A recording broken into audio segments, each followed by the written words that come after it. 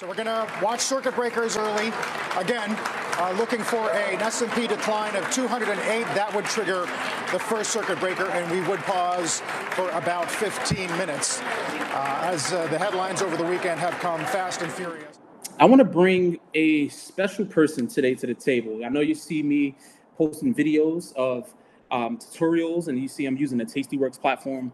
Um, but today, I want to actually bring the mastermind, the innovator behind it, uh, to explain a little bit on the importance of using a platform. I want to bring the guy, the man, the innovator, Tom Sosnoff, to the table. He's actually the co-founder of Thinkorswim. Um, he went ahead and sold uh, Toss to TD Ameritrade. After that, he went on to co-found Tastytrade and also the newly launched Tastyworks that I speak highly of in 2017. Um, Tom brings 20 plus years of experience as a market maker for the Chicago Board Options Exchange, and he's also one of the original OEX traders in the S&P 100 index pit.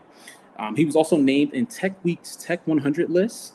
Uh, he's spoken at various uh, conferences. He's spoken to the University of Chicago TEDx, TD Ameritrade's Market Drive, and the He Said She Said tour for Tastytrade. Um, and last but not least, he received the Ernest Young Entrepreneur of the Year in 2014 you know, we can go on uh, for days about Tom's accolades, uh, but I want to turn it over to Tom and just have him, you know, introduce himself a little further. And uh, Tom, in 2014, that was that was actually a good year for the both of us. You know, I had my son that year, and I was able to join my fraternity. Nice, nice. Yeah, I mean, I don't even all the years kind of they they blend together at this point. You know, like I have no idea if you'd ask me what year we won that uh, thing, but um, it was cool. And um, no, that's a very nice introduction. I appreciate it. Yeah. Has has this um do you felt like do you feel like working from home has this made you more productive or a little bit less productive? It's made me less collaborative. It's made me it's made me less um uh, um I think it stifles your creativity a little bit. It stifles your, you know, a little bit of your um, imagination. I mean, I know you got plenty of time to think about things, but when you're not surrounded by people, you're not bouncing things off off other people, and you're not like, you know, just you know, you know me. I, I kind of like the locker room. Um, I, I, like working because I kind of like that's where all my friends are. That's kind right. of the locker room effect, you know. Yeah, I know. I know a lot of businesses, man. They, like you said, they just had to adapt. Um, I recently heard that the NFL they're gonna have to conduct the draft over a video conference. I'm, that's oh yeah, interesting yeah. to see. Like, yeah, um, that's not going to be good. It's not going to be good. It's going to be horrible. Right. It's and already it's already what like a week long. Just imagine how long it's going to take now. Like it's going to be brutal. Everything everything on uh, you know, listen, the, the technology is great today. You know, Zoom, this this Google Meetup, you know, all everything. I've used Skype, I've used Facebook, you know, all of them. They're all good, but the bottom line is they they um, not the same thing. No matter what you do, yeah. Not, yeah. We're, we're still filming from home right now. It's a, it's. I'm not. I'm not complaining, but it's just. It's different. It's. There's something missing. There's a piece missing to it. Right. But I mean, nonetheless, you know, like you said, you know, we're adapters. And you yeah, know, like, sure. like you always say, because you're a trader, you know, you have to make split second decisions. So yeah, pretty sure, you know, that didn't uh, you didn't skip a beat with any of that. Um, but hey, let's jump right in. You know, the purpose of this time, I really just wanted to bring you on uh, because I'm always, like I said, I'm always, you know, showing my followers uh, tutorials using the Tastyworks platform. Sure. Uh, and I thought it would have just been an amazing opportunity to hear it from, you know, from you yourself. Yeah, uh, that's because cool. you know there are things that I'm missing. Uh, but at the same time, it's one of those things where you know when we're doing it ourselves, when we're taking control of our portfolio, um, it's important that we know what we're doing. Um, yeah. So, Tom, just you know, just after you know the introduction and whatnot, why why did you choose the financial industry? Because when I got out of college, it was 1979, okay. and in 1979, it was the middle of the um, interest rates were like 20 percent, 22 percent short-term rates. There was it was the exact opposite now. Now rates are zero. Back then rates were in the 20s. And it was just a hellish time. I mean, we were in the middle of a really ugly recession. There were no jobs, but you know, when you graduate college, you don't realize that. Like you're not thinking we're in recession because to you that's all you know. So to me, it seemed normal. But you know, interviews were hard to come by. The first really good interview I got was with a was with a financial firm in New York City called Drexel Burnham, and they offered me a job in their training program, and I was like, "All right, man, you're in finance." now, did you did you study finance?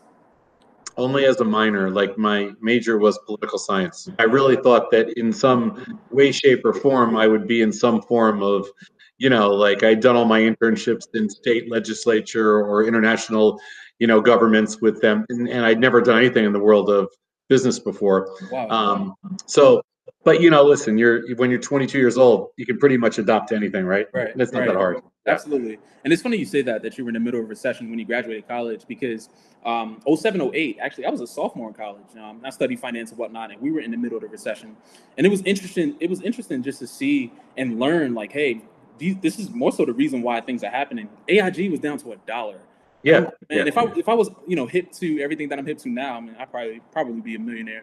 But you know you know college you know college kids we get our refund checks and we just go splurging you know shopping. Yeah, sure, sure. Oh, we were the same way, except we didn't have any refunds back then. now you said uh, Drexel Burnham, right? Yeah. How how long were you with the firm before? I was with the firm for about nine months before um, I met these guys that were working there, and uh, they they um, it was funny. They were older than me, and they really wanted to trade. They weren't interested in like whatever jobs they had, and they really wanted to manage like money. okay. But they need, but they they thought they understood options, and at the time I didn't know anything, so I thought they were geniuses. So they said, I mean, I was 22 and single, or 23, you know, whatever, turning 23, and they said, listen, here's the deal. If you move to Chicago and you go to the floor of the option exchange, um, because you don't want to be stuck here at this firm, you know, like, and I'm like, yeah, I don't want to be stuck here. I want to go, I want to go to the trading floor, you know, and, um, and it looks so cool, and screaming and yelling and everybody, they go, you move out there to Chicago. And I didn't know one freaking soul out here. I go, they, they said, we'll put up 50 grand. And I thought 50 grand was like a hundred million at the time. I swear, I thought 50 grand. I literally thought it was a 100 million. And and so, you know, I had like 1500 bucks to my name okay. and or whatever. And I'd been trading a lot of options at Drexel as a, you know, with my first job. I just fell in love with it. So like I was like, I'm ready. And when I got to Chicago um, with the 50 grand and you know and everything else, that those guys blew out in 30 days, lost all their money. all, all all naked positions. No, I don't even know what they had on because they, they they like I was supposed to fill their orders, but I didn't know what I was doing at the time. Right. So they, they just brokers, you know, and I was just there trying to learn. And um, I had only made uh, three trades. I was up eighteen dollars and seventy five cents at the time, total in my first month. And I mean, literally up eighteen dollars. So after expenses, I was down. But um, uh, but they blew out, and so I was in Chicago. I had no job, and I didn't know a single person here okay. and I was like, "Oh man, I'm fucked." But um, but eventually, I you know, I I just hung around and met some people, and some guy gave me a hundred grand to trade with, and I had to give him like thirty percent of the profits. So I was like done, and I I figured out how to do this business, and within within two years, I bought him out, you know, and started to make my own money and I didn't need him anymore and I was just you know kept 100% of what I made and so I was just a market maker for the next, you know, 20 years. Okay. Now, now, typically, market makers, you know, as you being on the floor, it I mean you're just really just raising your own money and trading securities there. Yeah, you just well, we well, there's lots of different kinds of market makers, but at the time, it was mostly independent guys like me, prop traders, and um, there was only two kinds of traders. There was only brokers, floor brokers, and then there was independent traders. The floor brokers filled orders, and the independent traders traded for themselves. I was an independent trader. You know, tried to make markets, tried to get you know stick my face in there and get you know piece of the order flow. Um, and everybody was really good. There wasn't any like bad traders. Right. So, you know, you had to figure it out. Only like 5% of the people survive. And listen, I, I made it. It lasted 20 years. I mean, you know, and it was a good run. And the only reason I left was to build Thinkorswim. And that, that's actually one of my questions. But kind of just going back to you know you just being a prop trader, like a market maker. Um, I know with us, you know, usually traders on the outside, like retail traders, you, you know, the amateur traders, we're chasing price. Now, with Yeah, market yeah, yeah. are you are you mainly chasing like that bid ask spread? You know, like you know, making. Well, in, in, in a perfect world, yeah, you're buying on the bid and selling on the offer. okay. but There really is no such thing as a perfect world. Right. So a lot of times you're buying the offers and selling the bids. You know, we're doing what we did now. We just had a little more of an edge because every once in a while there'd be a juicy order, you know, and uh, the customers would kind of get picked off. But um, those days are all electronic now; they don't exist anymore. But right. back then it was all open outcry, and so you know I was learning, learning on the go, and it took me, you know, it took me. Um, I think I started in 1981, and by like 1985 you know, I made, you know, by 1984, 1985, I had made my first million or some, you know, whatever it was. So I was like, this is, you know, this is where I got to be. hey, because you know they say your first million is hard. So once you hit that, I mean, I, I guess you were good. They say huh? your first billion is hard now, just so you know. oh, excuse yeah. me. Well, in my yeah. world, we still we still on millions. So. but but I'm just saying, like I was making all this money. We we were like, we were like like think of it like young athletes today making way too much money. You know, yeah. that's what we were. You know, I, I always tell the story. Um, we were sitting at a Bulls game one night. We had seats on the on the floor. Was 1985, and uh, 1985 or 1986. I think it was 1985. And Jordan leaned over to us and he said, "Someday I want to make as much money as you guys." And, and we looked at each other. We go, "You are going to." Right. so we go. Don't you worry, Michael. You're going to get there. And, I mean, he uh, he, so even though he's where he is now, he probably still hasn't touched where y'all are. But I mean, hey, it's, it's, it's his dreams, I guess. Well, at the time he was like 20, you know, he's a couple years younger than me. So we were, I was probably 20, let's see, I was probably 28 and he was probably 24 or something. Wow.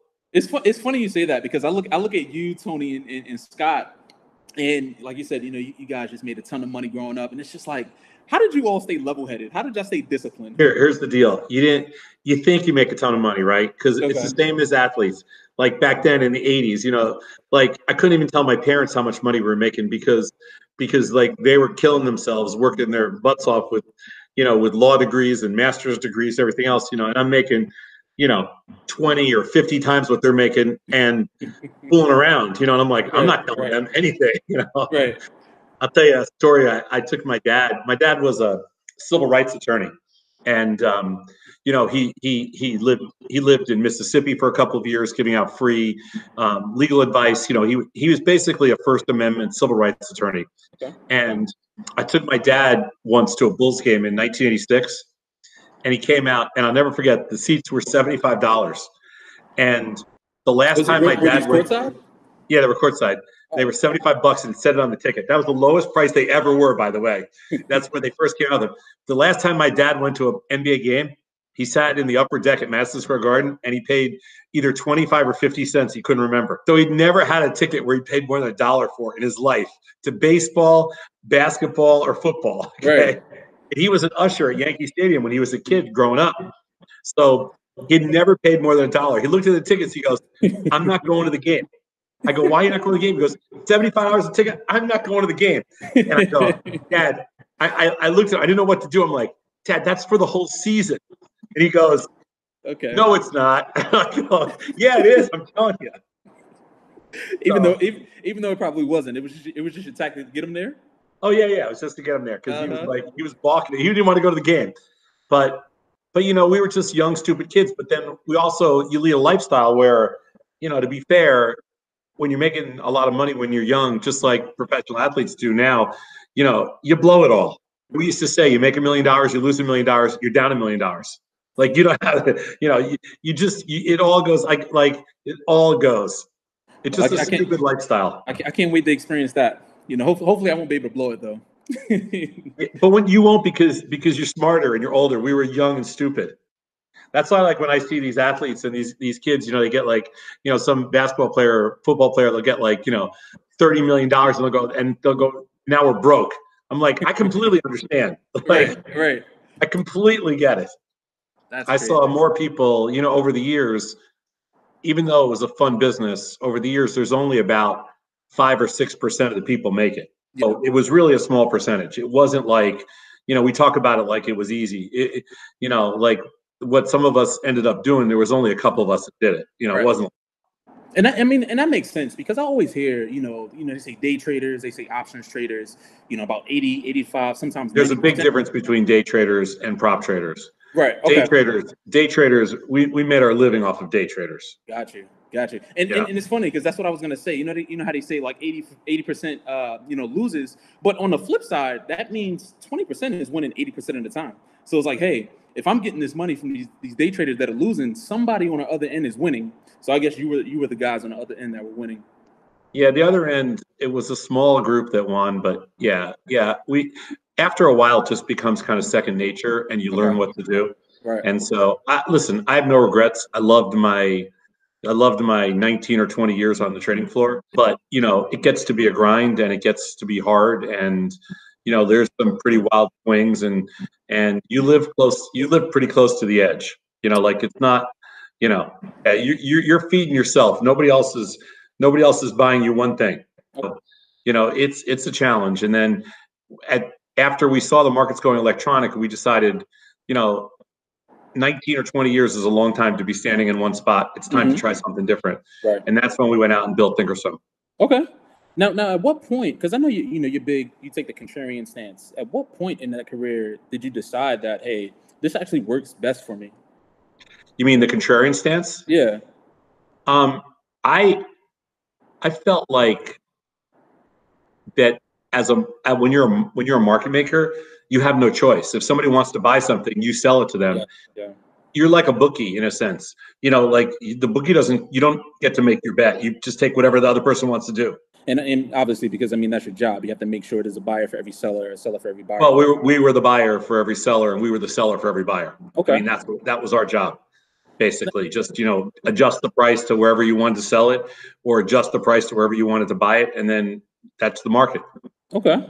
And how long would you? I mean, obviously you wouldn't want to hold it for long. What was your like ideal time to get rid of it? Is like right away like, or like about three seconds in a perfect world. okay, okay. But but you know sometimes you have to hold it for days or weeks or months. But right. you know sometimes you can get out of something in you know literally in a second. That's very interesting because you know, as a retail trader, it's just one of those things where it's like, okay, you know, I can, I can sit on it for a couple of days, but I know as that market maker, it's like, man, that, that clock is ticking. As a market maker, if I bought something at a dollar and then you were standing next to me and you said you were a dollar ten bid, I was telling it. There you go. There you go. I was taking like that, that ten cents and running. Yep. Right now, of course, like you know, you did touch on, um, you know, just going into the technology phase. Now, when you were building Thinkorswim, you know, and I know you talk about plenty of times where you know you kind of lost control of the company, so you kind of had no um, say so over it being sold to TD Ameritrade. Um, um, we had, a, I was the largest. Scott and I were the largest two shareholders. Okay. So we did have some say, but we didn't have enough to control the board. We didn't have a majority anymore. So we were a public company. Um, so and the problem was that we had three companies bidding for us, not TD, just TD Ameritrade. There's two others too. Okay. So there were three companies simultaneously bidding for us. So we had no choice. Um, in hindsight, I'm glad that happened the way it happened. Like, like I really regretted selling TD to. I'm selling Thinkorswim to TD because that was my sweat equity. I love that company, and I wanted to see what happens. But you know, in life, um, I'm, I'm not religious. I don't. I'm not like one of these. You know, I don't. I don't believe in like everything happens for a reason or fate or things like that. But, but I do think that sometimes the marketplace forces you to do something different. I, I don't know if you've ever heard like um, uh, you know Theo Epstein talk about it, but um, he talks about like every 10 years you kind of need to do something a little different, you know, or every every so often you need to do something a little different because because otherwise life gets boring. So we got an opportunity to build Tasty Trade, and I have no regrets. Now, when you built Tasty Trade, you know, after you know Toss went to TD and Ameritrade, what what type of trader did you have in mind when you were building a Tastyworks platform? Well, when we built Thinkorswim, going back just a little bit, our focus at the time was to build really cool technology that didn't mm-hmm. exist, and we thought like we were, you know, we were very confident you know, probably way too egotistical, everything else. So we thought we knew everything about trading. You know, I mean, we're just like, hey, we know everything there is to know, and and we can build this technology, and we can, you know, trade on the floor. We know everything. But we what we realized when we built Thinkorswim was that okay, we can build cool technology now, but we really don't know anything. Like when it comes to, you know, like it was a rude awakening that how little we really knew about trading as a retail customer and markets and things like that, and just the whole complexity and all the depth of the retail space. So when we sold Thinkorswim, one of the first things we thought about was, you know, there's no good content in the world mm-hmm. for trading. Like, like there's financial media, but it sucks and it's all news related and it's all guess and it doesn't make any sense to us because there's no real takeaways from it. Who cares what somebody else's opinion are? Is I already know their opinion doesn't mean anything. I only care mm-hmm. like give me some facts. I want I want some meat. I want I want real quantitative research that will tell me, you know, give me some step by step mechanics. And that's what we did, and that's what we eventually came to, you know, build tasty around was was the idea that there were optimal mechanics out there that nobody had ever studied before, Yeah. and we were going to be the first to do that. Okay, and that that makes sense because when I stopped by um, the Tasty Trade headquarters, you you were actually at the Orlando Money Show. This is about two years ago. I was expecting to walk in. I see CNBC. I'm thinking I'm going to see Fox Business News. There's not even- we don't even have see any- cable. yeah, so that so that makes sense by you explaining that. Yeah, we have a rule, which is basically, you know, I don't care what the competition does, no matter what. There's no, nobody in our office is going to turn on cable TV. Okay. You know, like, cause I don't, you're not watching Bloomberg, you're not watching CNBC. Those guys watch us all the time and they steal ideas from us. We refuse to watch. I don't want any of their ideas. Right. You know, I, I, I'm original. I want to be, I want everything to be original. Absolutely. And and I mean, honestly, uh, Tom, kudos to you and your research team Um, because I'm learning something new every day, even just from 10, 15 minute segments. And it helps Yeah. me digest it a lot better because it's you know condensed into 10 to 15 minutes. Um, Yeah. And like you said, it, it just comes from in house. And I've learned a lot just from following the Tasty Trade Way, looking at the research team, than I did because I studied finance. You know, we learned options, but it wasn't. Where'd like you go to school? I went to Norfolk State University in uh, Norfolk, Virginia. Norfolk State. Okay, Uh-huh. got it. Yep.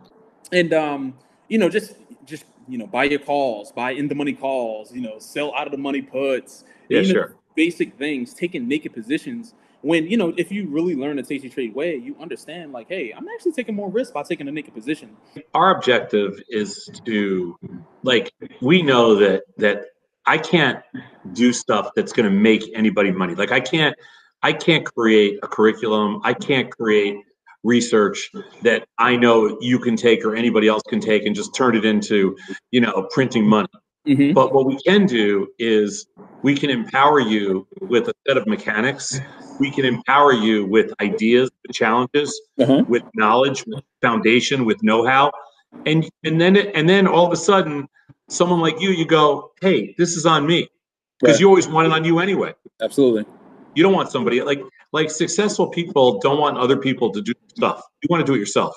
Because once you turn it over to somebody else, you you lose that control. You lose that. Yeah, power. I mean, I mean, we're in a world right now where people are understanding how dangerous it is to be really to be passive, and mm-hmm. what you want is control over your own, you know, your own optics, your own mechanics, your own, you know, all your own decision making. The, the most valuable thing you can do, especially at your age, especially you know, like like where you are at, at, at the stage in your life you are, where you're you you haven't even like like we didn't build Thinkorswim until I was, I think, 42. I didn't build Tasty till we were, you know, 50 something, 53 something, 52. So there's no like you're in your you're not even in your prime yet. And most successful, really successful entrepreneurs, late 30s, early 40s, that kind of stuff. Because it's not that you're that it's not that you're that much smarter. It's just that you have better decision making skills. You have a much better foundation Mhm. of what it takes. Like we backed a couple of businesses with really young entrepreneurs, 22, 25, you know, whatever, 27. And most of the time, the smarter they are, and no matter how, I'm sorry, no matter how smart they are, they're generally not successful or they can't think big because they just, you know, they just don't have that decision making experience, that Okay. risk, that appetite for risk. Like a guy like Zuckerberg making it at whatever, 22, 23 is really freaking rare. And what's more likely is you're going to find some some 40 year old or some 50 year old entrepreneur like like like I was, and you're going to find after all those experiences, I spent 20 years grinding it out Right. Right. you know and and you learn a lot about yourself about decision making about everything else and then that changes you know who you are That's that's a good point, um, I- and it gives me a little bit more reassurance because it's one of those things where you know you're in your 20s, you're in your 30s. It's like, man, I'm supposed to be sitting on 500 million now. Like, what am I doing? Like, you know, I feel empty. you you you need to be sitting on 500,000 decisions and if that's the case you know like you got to realize you know not everybody's an outlier you can't take some you can't take some like you know some actor some singer some some NBA basketball player and look and look at a young kid as an outlier that's making 100 200 million. If you look at the entrepreneurial world there's very few 22 or 24 year old entrepreneurs Mhm. that have reached that level. But they're but when you look at the companies that are really successful and you look at the people that have created value they're a little bit older they have some experience they have a much better networking system built so they can raise capital so they can they can you know they can think through their ideas that kind of stuff and, and, and it's funny you touch on decision making um, you know, one thing I did notice about the Tastyworks platform, it didn't have a, a paper trading option. You know, obviously yeah. when it comes to decision making and whatnot, yeah. I, I, know for me, what worked for me was I started, you know, paper trading, even though yeah. there's no emotion attached and whatnot. But that helped me make better decisions. Yeah. What was one of the and, reasons you didn't incorporate that into the Tastyworks platform? So the diff, it's not that we didn't want to. When we built Toss, back then and we built like the first really good paper trading platform the revenue was four times what it is today like commission revenue was four times higher, and we provided virtually no content. And so, in starting when we built Tastyworks, the model's changed. The revenue is about 25% of what it was before on a trade. Like we used to make like let's say 10 $12 on a trade. Now we make $2.50 average, you know. Okay. So so our revenue is significantly less. And we spend tens of millions of dollars creating um, content that we never did before. So we don't have the resources available to, that we had before. Like we instead of having 250 developers, you know, we have 70. You know that kind of thing. Okay. So it's just a function in 2020 of how you spend your resources because the technology today is so much better and it's mm-hmm. so much more stable, but you have to spend your money differently. I don't want to give up our content for a paper trading platform. Um, I remember just trying to after I started paper trading with with Toss, so I applied to get approved the trade options, and he actually denied me. And and it's one of those things where I was like, well, like what's going on? And I remember when I came across Tasty Trade, and I was looking at the commissions, and I'm you know me just being used to Scottrade, E Trade, TD Ameritrade, six ninety five. I sold a one dollar per contract. I'm like, no, I'm paying six ninety five and seventy five cents per contract. Why would I pay one dollar? Right. But I literally came across a taste like the Tasty Trade uh, fees and commission structure, it probably was like two, three in the morning. You know, I wasn't really like fully awake. So I didn't notice that there was no closing commissions. There was literally just that one dollar per trade. So I put that off to the side. And when I got that denial from TD Ameritrade, they wanted me to go through. Um, at the time, I think they had like Investools or whatever um, yeah. educational platform they had. They were like, "Hey, you know, if you go through this, we can prove it probably later and whatnot." And you know, just as time went on, I revisited, you know, the website and I was like, whoa, wait, the whole time is just one dollar per contract, no closing commissions. And it reminded me of the Amazon effect. I'm like, how, how isn't anybody onto this? Like you had the lowest commissions across the industry for you. Yeah, really hard to build a brokerage firm because you're competing against firms that spend, you know, TD spends 250 million a year in advertising, Schwab spends 300 million a year. You know, and here we are building a new firm with our own content right. and everything trying to be different, but you don't have, you know, you can't spend, you know, you can't spend any money on on traditional marketing. So getting the word out there is really difficult. But you know, we're a little better at it than most people. That's why mm-hmm. there's not a lot of boutique firms like us. But but still, it's a challenge, man. We we go up against all the big guys, and you know, all they will all want to do is squash us. So, but I mean, there's also there's also a blessing in the way your firm is being ran because Tom, I mean, I'll say um, the reason you are very successful is because you you you're shaking hands with your customers. You're yes, answering emails. You're, you're answering phone calls. I mean, who? I mean, think about it. If, if, if I go trade with Toss, I can't call up the CEO and be like, "Hey, I have this position on." You couldn't even tell me who the CEO is. You would have no idea. you know what I'm saying? And I mean, you're you're going to these shows. You're you're hosting these free events where you're allowing your customer to come talk, talk to the traders, ask yeah, questions. we, we do it. It's part of our culture. Yeah. And I don't know. I don't know what's going to happen in the future now with all the crazy stuff going on. But you know, for with, with live events. But but you know, clearly, you know, we're going to do everything we can, and and our culture is not going to change at all. And we're going to be there to support everybody. You know, that's that's the way we operate. Absolutely. Now, what, what would you say? Because I know you said it's challenging. What would you say is your biggest challenge when it comes to um, managing a firm of this size? Um, it's it's not managing the firm that's the challenge. It's it's the, the biggest challenge is keeping everybody challenged. In other words, like I hate complacency, and I like to keep everybody at the firm on their toes. Yeah. Like if any, it, like I don't want anybody that's just going through the motions. So I have to keep people challenged, and that is really hard to do. It's hard to challenge your developers It's hard to challenge your research team. You know, it's hard. To, people get, you know, people get bored. They get complacent. They get, you know, they, things get too easy for them. So we're always trying to challenge people, and that is the biggest challenge. And of course, you know, outside of Tastyworks, you know, I did notice obviously the small exchange, and you have Dough. Yeah. Um, yeah. I recently, I recently downloaded Dough a couple of weeks ago, and I was It's a good actually impressed. I was actually Yeah, it's a beautiful platform. Yeah. Yeah, Vic, Victor Jones came to work for me at TD, and he was one of their rising stars. And so I brought him over to um, to run Dough because I think it, I needed a younger voice and a different voice. I mean, Victor's been in the business for ten years. He's only he's thirty two or he's thirty. 30. Yeah, he's he's about my 33. age. hmm Yeah. How old are you? I'm 31. Uh, he's thirty three, I think. Okay, okay. But um, you know, grew up, you know, single mom, you know, you know, I mean, just typical, typical story, just a hustle, like a kid that was hustling his butt off, you know, went to work at TD when he was in his early twenties and, and, you know, super ridiculously smart and, and um, super confident and, you know, he deserves a shot. He has the potential to be a superstar. And I wanted to go in somebody else's vision. You know, I didn't want a 50 year old guy creating vision, for, you know, for, for millennials. I wanted, I wanted, you know, somebody that was in their space and that can speak the language and also that, you know, that knew some of the struggles, you know, Yeah. and so, um, it's a really beautiful platform. I mean, we're, it's obviously designed to compete with Robinhood. Okay. And so, um, you know, we'll we'll see what happens when they launch, you know, options and small exchange futures and everything else. Um, you know, listen, like I said, I think Victor has the potential to be a superstar, whether or not he's able to perform at that level. You know, will that remains to be seen. But that's everybody has that challenge. You know, all you can hope for in life is to get that challenge, to get Yeah. that opportunity.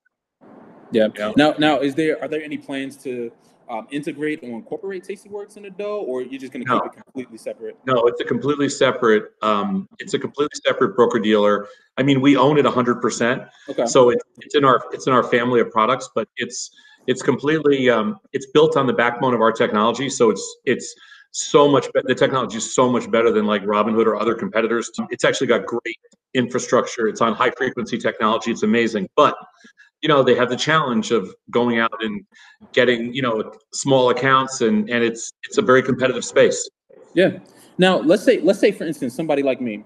Let's say if I were to go back and I started with Dough, and then I made that transition and I wanted to start trading options. Yeah, you could do that too. Sure. Oh, so so you can do that on the Dough platform? um, you will be able to trade options. We're about to launch them, but it's it's a different world. Like if you wanted to buy or sell an option, you know, or do a simple spread, you could do it on Dough. But if you wanted the content and all the functionality that Tasty has, Mhm. you can't do that stuff on Dough. Gotcha. Gotcha. So it's a little bit more like the advanced trader, the older Yeah, trader. somebody like you will never can never go backwards to Dough. I mean, not that Okay. Dough is like a step backwards. It's just it's for somebody just starting out. You know, you know, you want free commissions. You want, you know, you just want to get your feet wet, that kind of thing. But it just it doesn't have the depth. You know, it's very slick platform. It's got great content. It we produced it all in house. It's a completely separate company, but it's it's for a different it's for a different um, demographic. Would you say it's really more so for just a passive investor who's never going to take that step No. to No, I don't think so. okay. But it's for somebody that like that's that is just maybe just starting out that doesn't want to take that active a role you know? Gotcha. like like it could be for someone like you're considered like an elder ld elderly millennial i think. You're at the top end of the millennial range like what is it 35 or something? Yeah. Something like that. Okay. But- but you fit into either group we have okay but but with your experience and all the trading you've done you you, you have to use a, a, a, more advanced piece of software you do Absolutely. Yeah. And and one thing I do like about Tastyworks, and it's funny because I always, um, you know, when I was going through my, my time at school, and I'm like, yeah, you know, I'm gonna set up, I'm gonna have this big setup, I'm gonna have all my monitors set up. And it wasn't until I came across the Tastyworks platform, I was like, I really only need one monitor. I don't need to keep switching back and oh, forth Oh, yeah. between different screens. Yeah. And that's one thing I definitely, one of many things that I definitely loved about the platform. yeah, that we did it right there. specifically for that reason. I mean, Okay. Woody and his, Woody and his designers built Tastyworks specifically for single screen because we think it's a joke. I saw this guy on some guy on a YouTube video that did like 75 monitors. I'm like, that's such a it's such, it's such a gimmick, like to try to get people to subscribe or whatever. I mean, Yeah. literally, you need one monitor. Right. Sometimes sometimes people use it as like a, an opportunity where it's like, look how smart I am. Just because I'm using all of these monitors, like.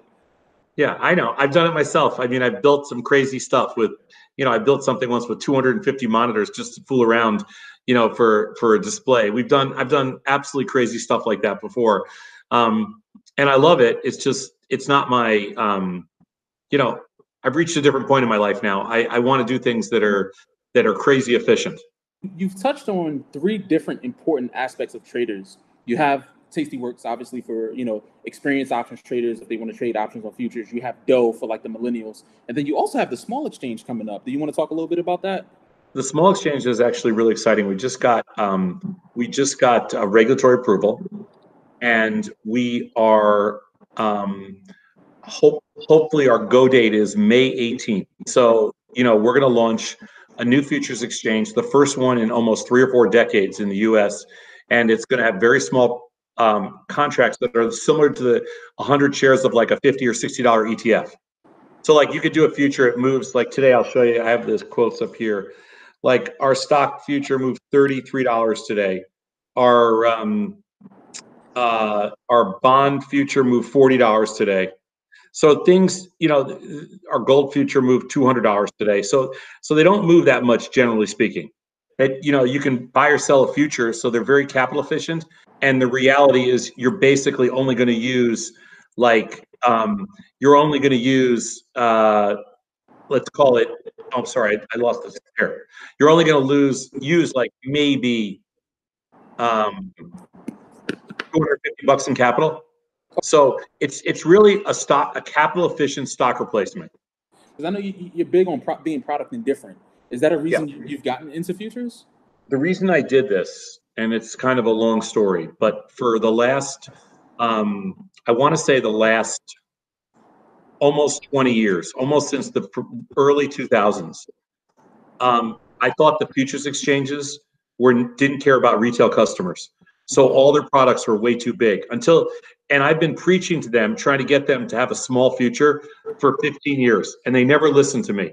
And then, and they they would listen, but they blow me off. And then finally, when we announced we're launching the small exchange, they came out with a micro product, and it was a huge success. I'm telling you, man, that's the Amazon effect you have. You know, and, Amazon is undercutting prices. And it's really funny because they they absolutely laughed at me, and um, and and then they went out and did it and said, "Oh, look how great this is! Look how smart we are!" And yeah. I'm like, I'm like, you fuckers, you stole that from me, you know. um, but that's the truth. And he, here's the crazy thing about it: even though they did that, they don't know all the stuff that I wanted to do, and so I feel really good about um, what we're about to launch with the small exchange, mm-hmm. and and I also feel like you know we understand the customers better than they do. So um, look, I'm hoping it works. I mean, we're going to go we're going to go all out and try to make it work. You know, over the years, when you when you're a brokerage firm and you have and you offer futures, the problem, Ty, is that when you do that, you you pay all the you take all the risk, you pay all the marketing costs, you pay for the data, you build all the technology, and then basically they charge these huge fees that are the huge exchange fees that are the equivalent of what you make in commissions. So we take five times the risk and pay them the same amount of money on like a rev share, and it's stupid. So I'm like, screw them. I'm going to create our own product. I remember one time I thought about taking the route with putting my LLC. Is I noticed there were all of these fees where we're getting charged for like real time yeah, data. You, you, can't you can't do it because the, the exchanges, not not the small exchange. We will not do that. Okay. But all the other exchanges consider a LLC or any kind of a corporate account to be professional just so they can just so they can steal additional fees from you. Okay. We're not doing that. We're treating everybody the same.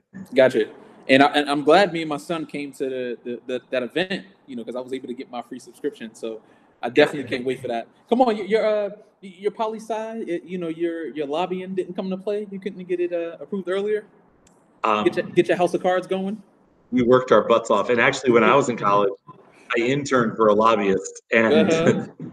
and I learned a lot of lessons from that guy. He was quite the grifter. Uh, no, no, it didn't didn't help. and Tom, real quick. So, you know, obviously, you know, you you you've you've been in the game. You've seen many recessions.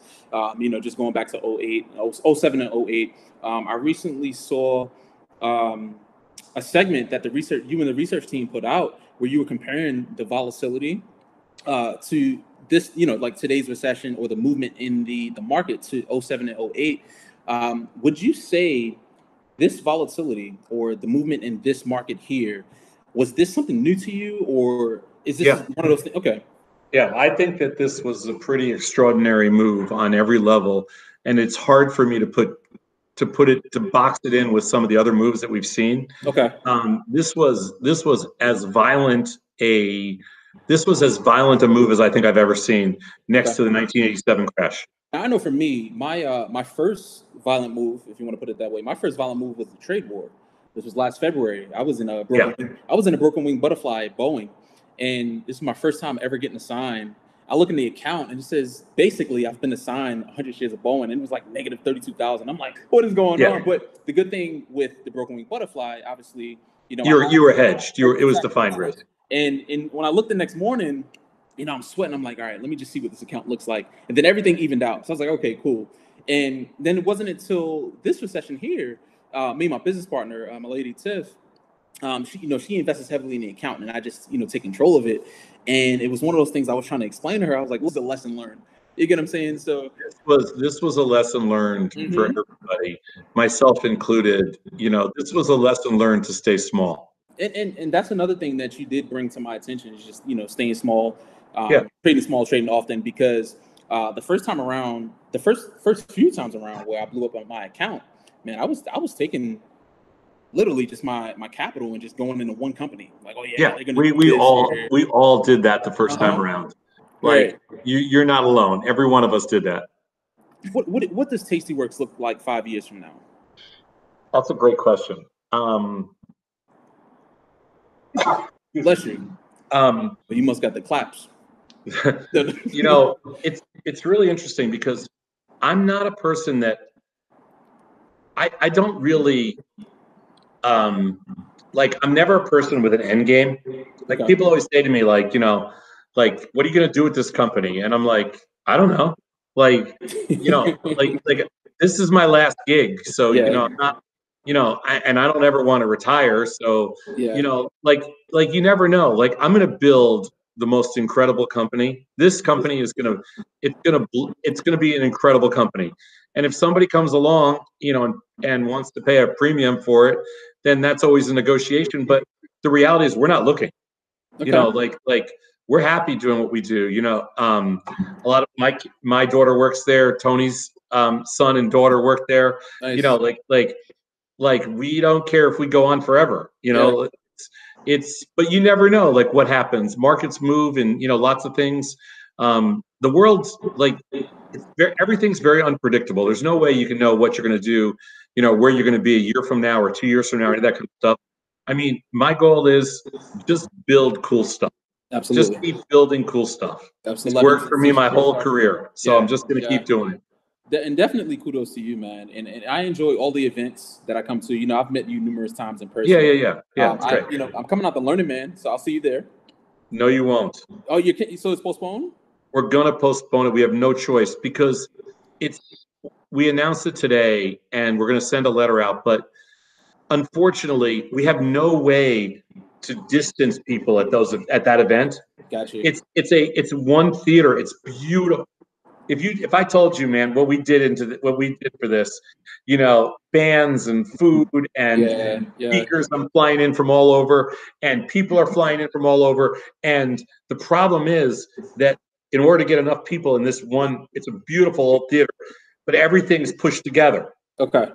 That There's no social, there's no distance. Like I don't think the world's ready to be, you know, sitting side by side by side by side the first week of July. I mean, Right. plus I, I just feel bad. I don't want people to lose their, you know, airplane month. They're like, we're gonna, we're gonna do it. We're def. I'm not doing it virtual. I'm doing it live. We're just gonna push it back till like towards the end of the year or early next year. okay. But um, we're doing it for sure. It's just gonna have to be at a different time.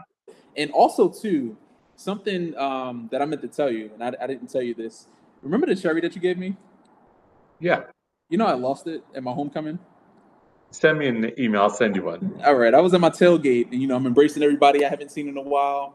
You know, I'm excited. So I get home, you know, I'm taking off. No more handshakes. No more embraces. Just so you know. No glove, no love, right? Yeah.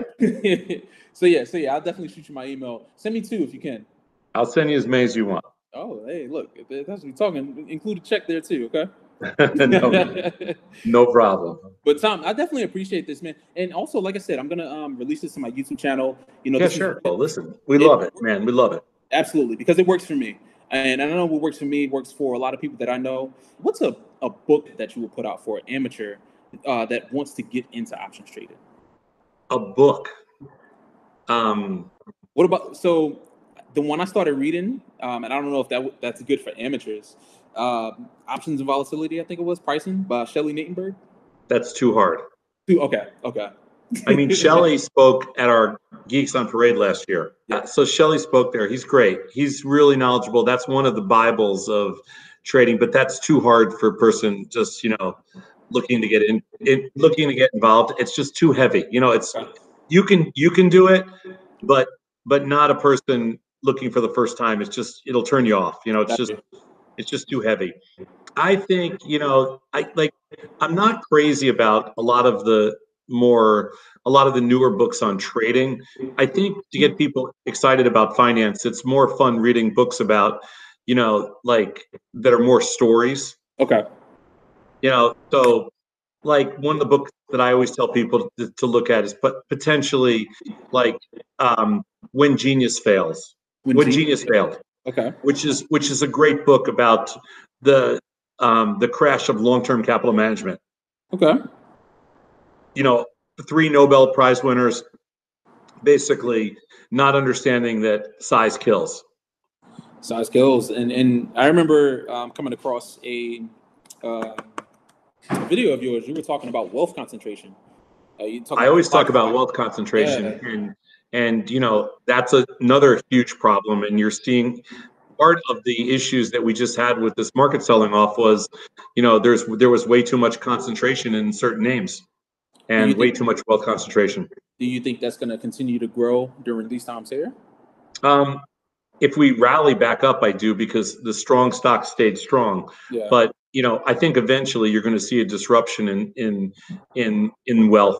Yeah and I remember you saying that too, because you know you went back like ten years. You were like the market yeah. disruptors. They're not market disruptors now. That's right. I believe that. I believe when you look at Amazon and Apple and and and stocks like that and Microsoft, they're going to have a hard time being the stocks that you're going to be trading in. You know that you're going to be trading in 2030. Tom, so one one one quick and last, uh, I guess, comparison. Um, he's actually one of my. I have many favorite CEOs, but you actually remind me of one of my favorite CEOs, and it's a wild guess. Do you think who I would say? I don't want to get myself in trouble. No, because no, I don't know who. Mark Cuban. And the, and the reason the reason I say Mark Cuban is because he was just like how you were an innovator and you moved the needle in the finance industry. I felt like he played a big part in the way sports like broadcasted across like yeah. I, I I think he he was definitely an oddball disruptor. I just the thing that drives me crazy about Mark Cuban is I just hate the way he thinks about markets. Okay.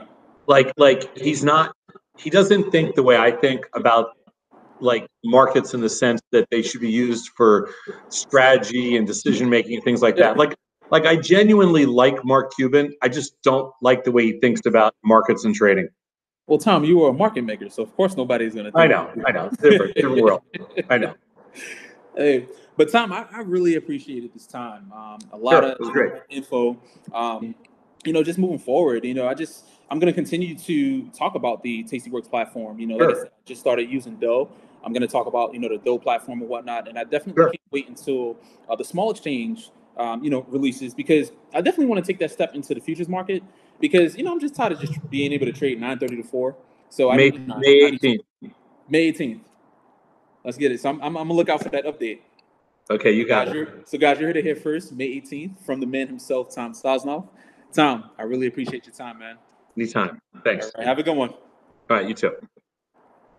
Yesterday at the NASDAQ, it's MarketAxess, an electronic trading platform for fixed income securities.